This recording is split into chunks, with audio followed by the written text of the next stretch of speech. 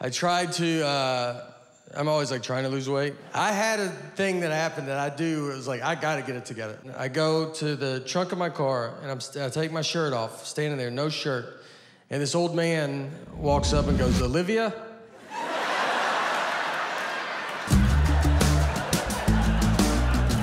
I had to turn. I was like, "I'm sorry. What's what's what you say? I'm, I'm sorry." And he was like, "Oh, sorry. Honest mistake." And I was like, "I don't know."